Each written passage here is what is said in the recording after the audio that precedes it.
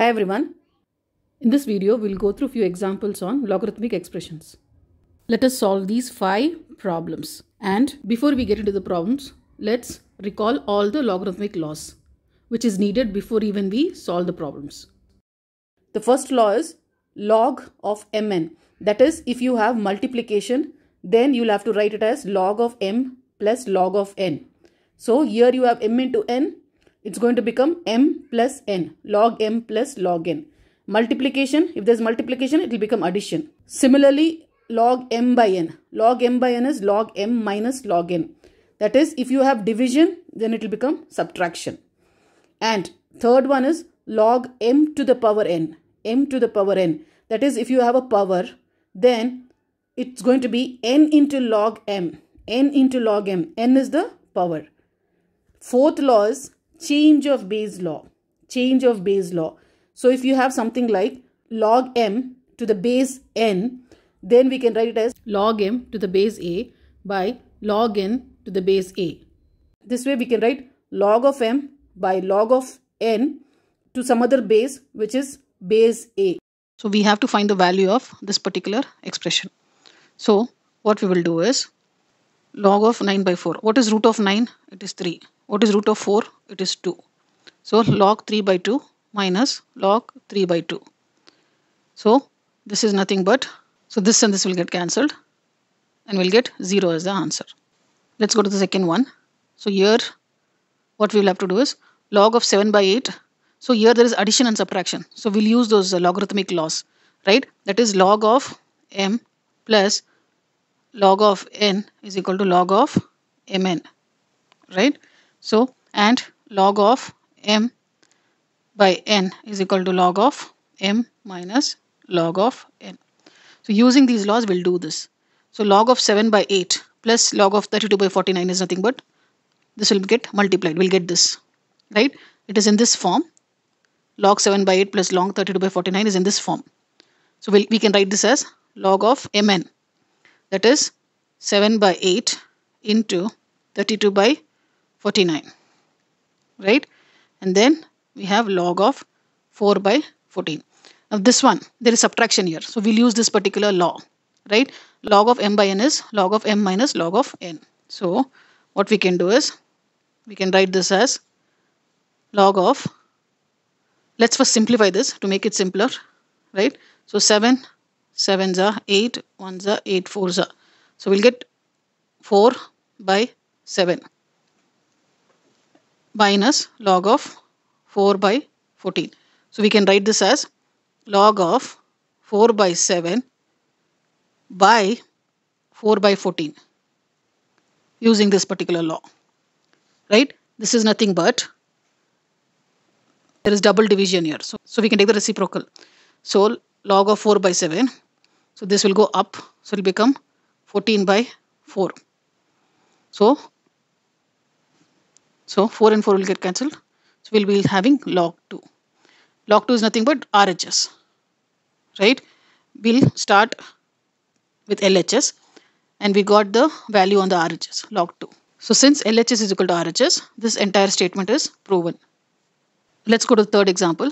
We'll have to prove that this entire expression is equal to 0. So we'll start with LHS. LHS is equal to 2 log 3 by 5. Now this is that there is one law in logarithm, right? You'll say log of m to the power n is equal to n into log of m.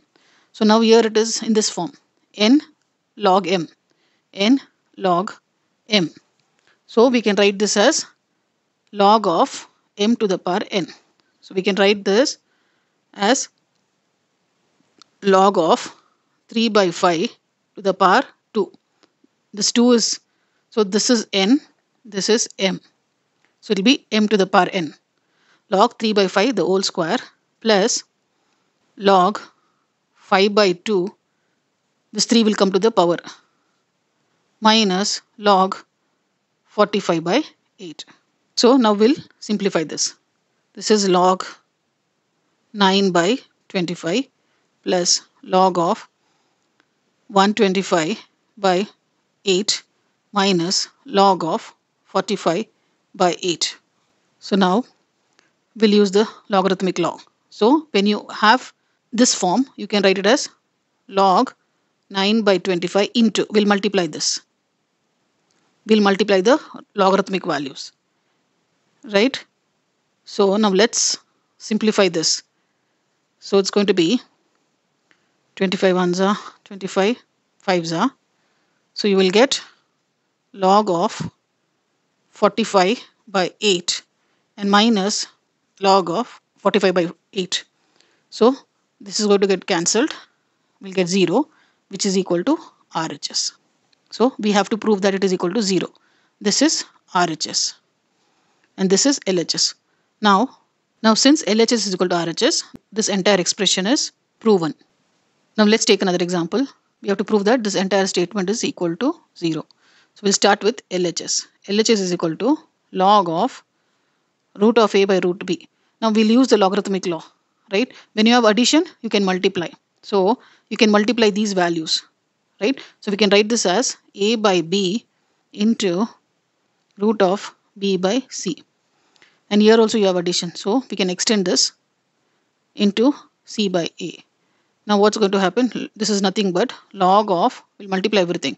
A, b, c by b, c, a. b, c, a. Now this is going to get cancelled. A and a b and b c and c. Right? So we finally get log of this is going to be 1 log of root of 1 which is log of 1 is 0 now since LHS is equal to RHS this entire expression is proven. Now let's go to another example. Here we'll have to use change of base. Change of base law. Right what does it say if you have log of b to the base a you can write it as log of A by log of B. Also, also you can write this as in this form. That is, you just reverse this. So it becomes A and B. Here it is B and A, here it will become A and B. You can write it like this. So now let's write it like this. It's given as 1 by log of A. We can write this as log of, we'll reverse this, right? Instead of b, we'll put a. Instead of a, we'll put b. Into log of, again here it will get reversed. Right? So, this is nothing but LHS. Right? Now, now we will use this particular formula here. Log a is equal to log a by log b. Right? We'll use this change of base formula. So, this is equal to log of b by log of a into log of a by log of b. Now, this and this will get cancelled, this and this will get cancelled and you'll get 1 which is equal to RHS.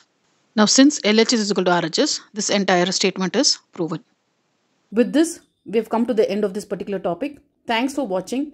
If you found this video useful, do like it and share it.